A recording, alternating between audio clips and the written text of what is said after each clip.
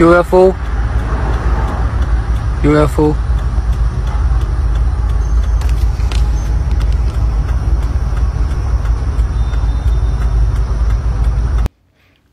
Shalom. Call Laila Yahweh. By Hashem Yahawashi. By Hashem Gakadash. All praises be to the Most High, Yahweh, in the name of His Son and our Lord and Savior, Yahawashi. Much respect and honor to the brothers that are doing the work in truth and sincerity, risking their lives and freedom to do so pushing this gospel throughout the four corners of the earth.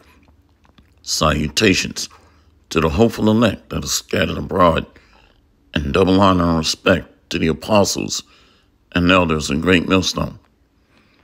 Coming back at you with another lesson as Moses lifted up the serpent in the wilderness. So I want to talk briefly about this. Can't make this long. I'm dealing with dry voice tonight. So I'm going to get through this as best I can. as Moses lifted up the serpent in the wilderness. So let's start here in the book of Psalms 68. The book of Psalms, chapter 68, verse 16. Why leap ye, ye high hills? This is the hill which God desireth to dwell in. Yea, the Lord will dwell in it forever. So Mount Zion is going to be the exalted government that's going to be lifted up and stand forever over the other hills or governments, the other nations. Let's go to verse 17. The chariots of God are 20,000, even thousands of angels. The Lord is among them, as in Sinai, in the holy place. So, the chariot of Yahweh or the angel of the Lord before the camp, visited Moses in Sinai. Let's go here. The burning bush. Exodus 3 and 1. now Moses kept the flock of Jethro, his father in law, the priest of Midian, and he led the flock of the backside, and he led the flock to the backside of the desert and came to the mountain of God, even to Horeb and the angel of the Lord appeared unto him in a flame of fire out of the midst of a bush. And he looked, and behold, the bush burned with fire, and the bush was not consumed. So that angel of the Lord is Yahweh whom the world ignorantly called Jesus. And Moses said, I will now turn aside and see this great sight, why the bush is not burnt. And when the Lord saw that he turned aside to see, God called unto him out of the midst of the bush and said, Moses, Moses. And he said, Here am I. Marsha. Verse 5. Let's go to Exodus 3 and 5. And he said, Draw nigh hither Put off thy shoes from off thy feet, for the place wherein thou standest is holy ground. Moreover, he said, I am the God of thy father, the God of Abraham, the God of Isaac, and the God of Jacob. And Moses hid his face, for he was afraid to look upon the Most High.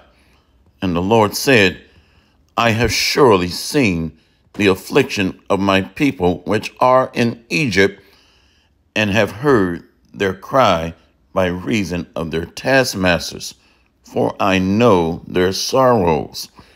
So when we study the scriptures, we know that America is that place that's spiritually Sodom and Egypt, pursuant to Revelation 11 and 8.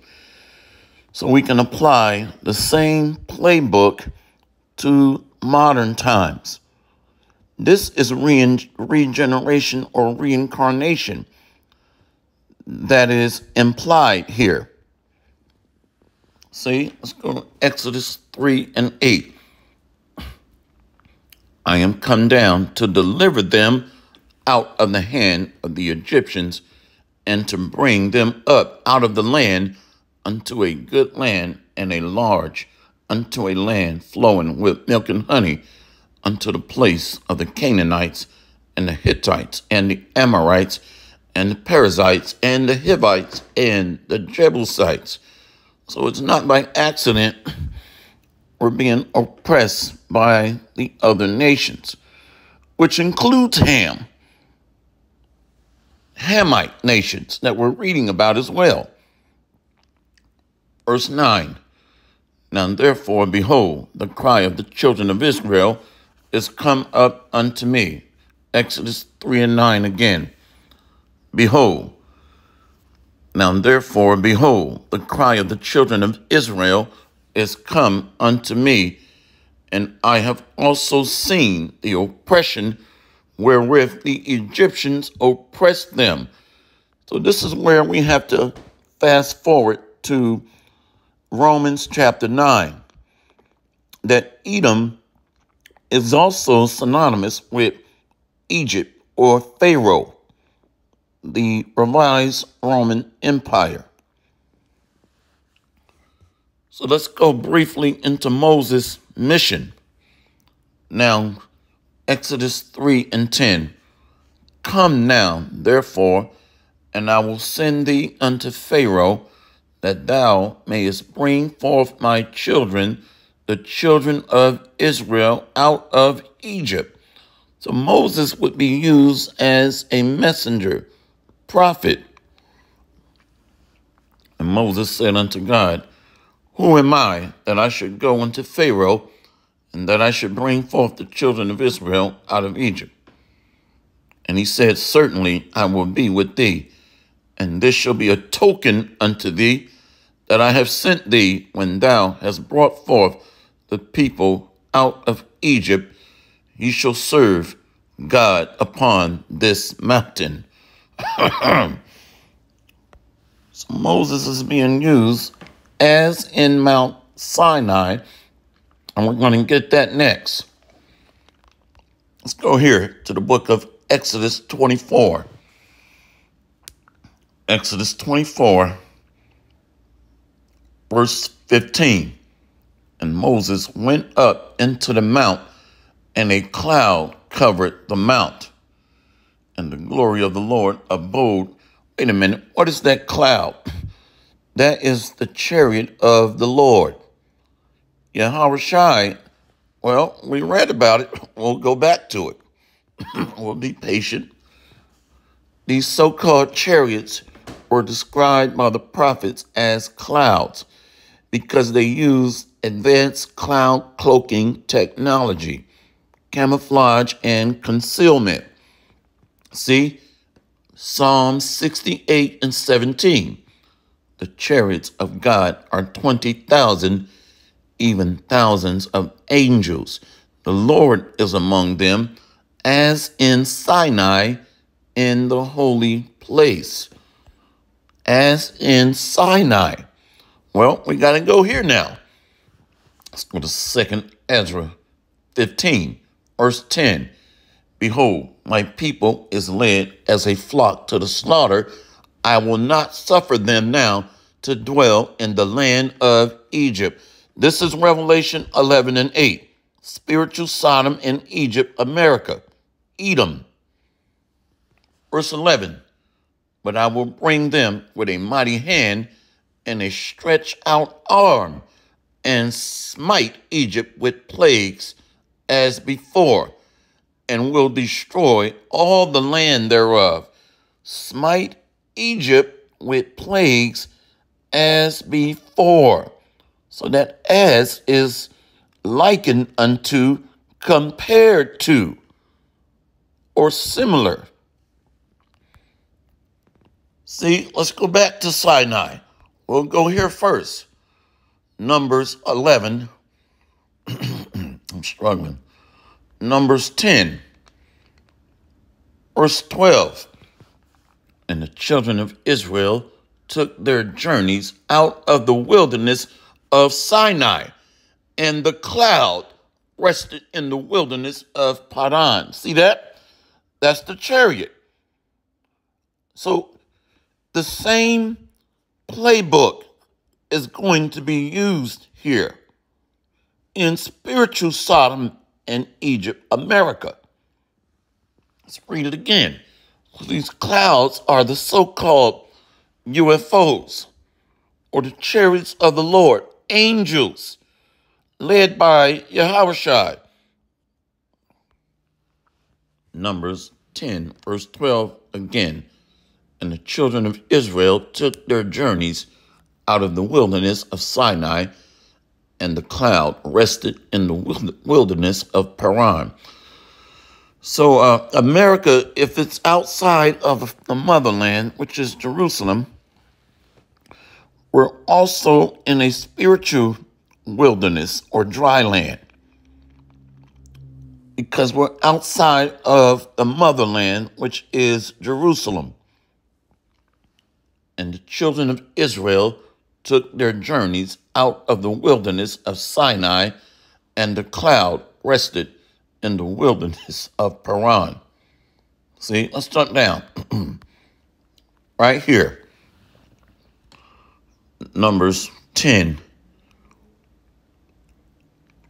verse 34.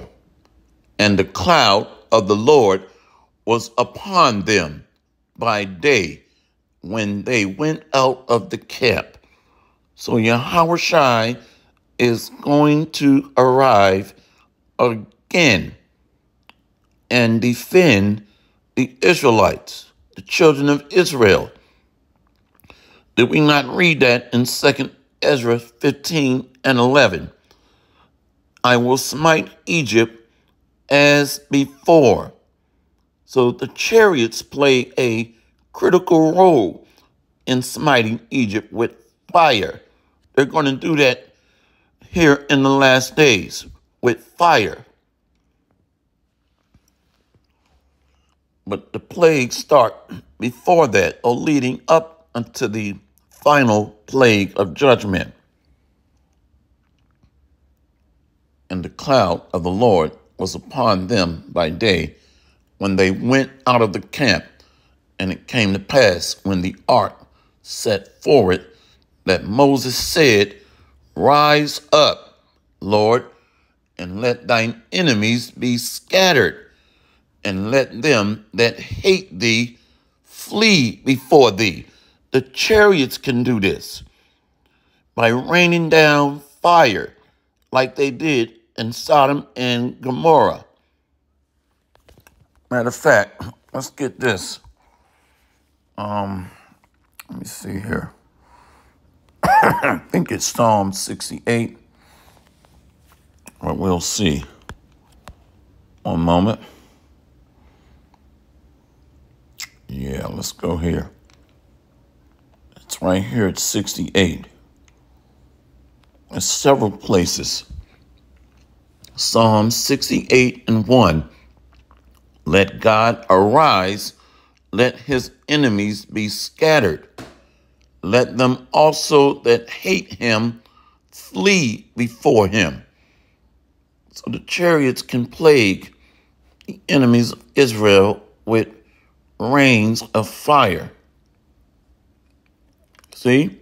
Psalms 89 and 10. Thou hast broken Rahab in pieces as one that is slain. Thou hast scattered thine enemies with thine strong arm. So that strong arm is Yahushua. He is the right hand or the right arm of the Most High Father, Yahweh. Let's look up Rahab. Rahab.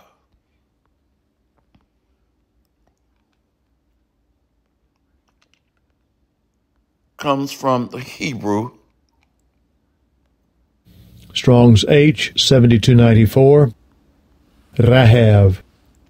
Rahav. You can't make this up. An epithet of Egypt. See? Arrogance and an epithet of Egypt. You can't make this up. That's beautiful. Go back here, Second Esdras 15 and 11. But I will bring them with a mighty hand and a stretched out arm, and smite Egypt with plagues as before, and will destroy all the land thereof. See? So that mighty arm, Yahawashi, is going to reappear in a so called UFO or chariot of the Lord. I know you see it. Let's go to Exodus 34. Exodus 34, verse 1. And the Lord said unto Moses, Hew thee two tables of stone like unto the first, and I will write upon these tables the words that were in the first tables which thou breakest, and be ready in the morning, and come up in the morning unto Mount Sinai, and present thyself there to me in the top of the mount. We're going back to it. Psalm 68 and 17. The chariots of God are 20,000, even thousands of angels. The Lord is among them, as in Sinai, in the holy place. So the Lord travels with an entourage. Whenever you an entourage, it's like when you see the motorcade of the President of the United States or world leader.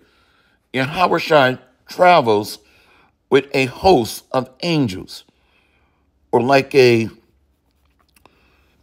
PSD for a commanding general or a international leader. It's a personal security detachment or personal security team, PST. So these are angels or chariots escorting him or among him.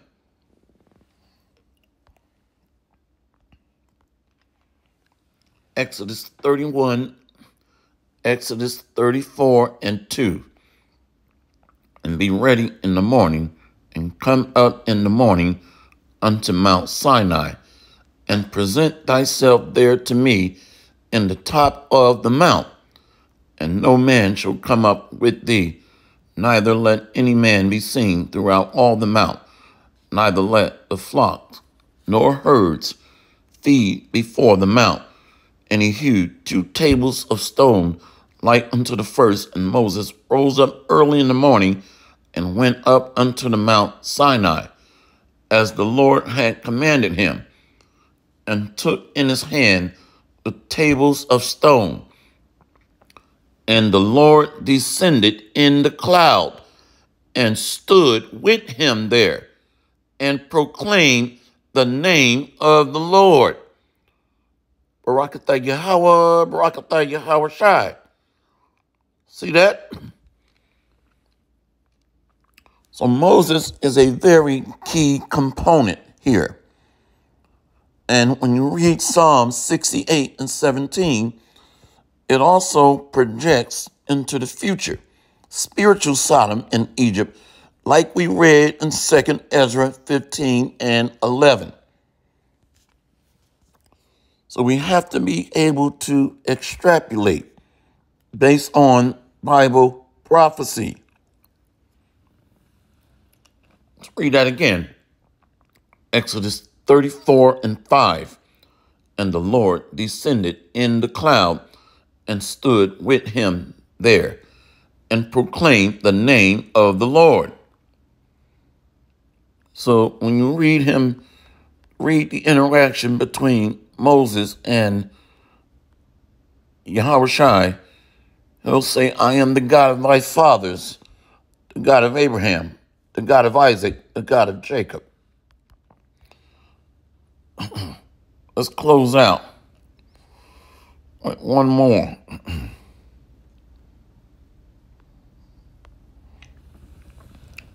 John 3 and 14. And as Moses lifted up the serpent in the wilderness, even so must the Son of Man be lifted up. So, this is a very critical component to the prophetic word. So, this is why Second Esdras says, I will smite Egypt as before. And when we read Psalm 68 and 17, that the chariots of the Lord as in Mount Sinai. So it's showing you that there's going to be a part two of our deliverance in like manner. What is this Moses lifting up the serpent in the wilderness, exalting Yahweh Shai, which is that symbolic brass serpent, Yahawashi. Remember, he said, Be wise as serpents. This wisdom that's being imparted unto us, like Yahawashi. Where's that at? See? Numbers 21 and 5. And the people spake against God and against Moses. Wherefore have ye brought us up out of Egypt to die in the wilderness? For there is no bread, neither is there any water, and our soul loatheth this light bread. So these mockers and scoffers are back in the regeneration.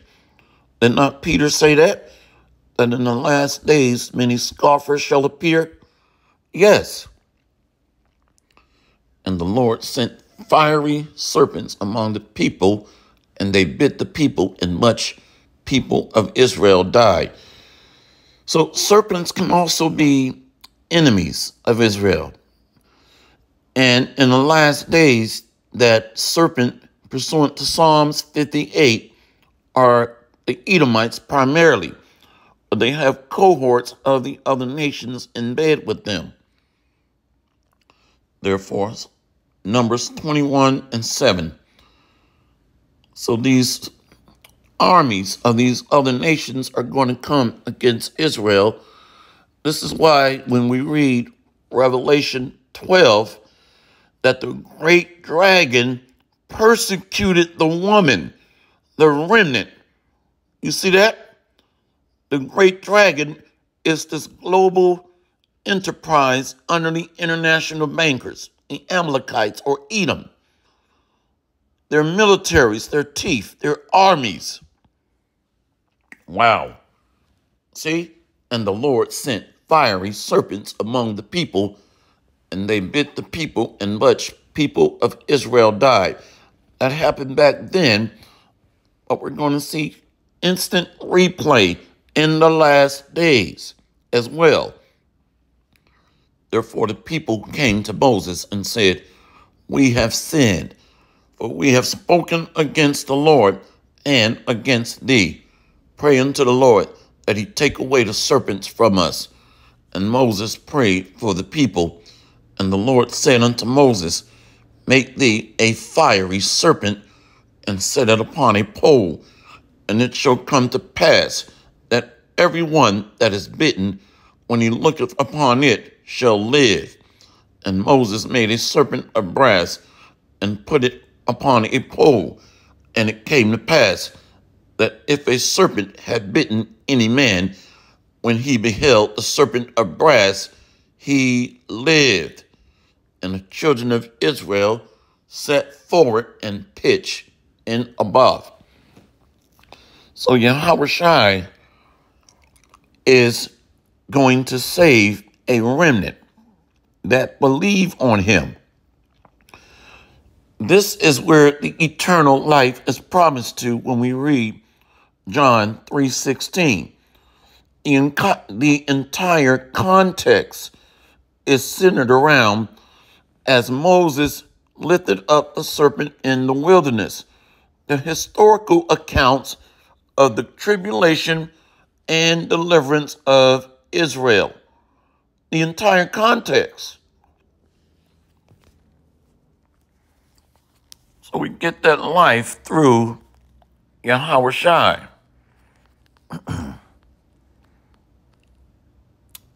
See, let's go to, it should be in this chapter. We'll stay in this chapter.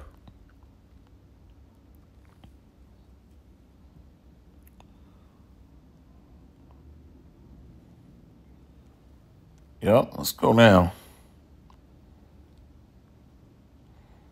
Well, I want to go to one of my favorites. Let's, let's close out here.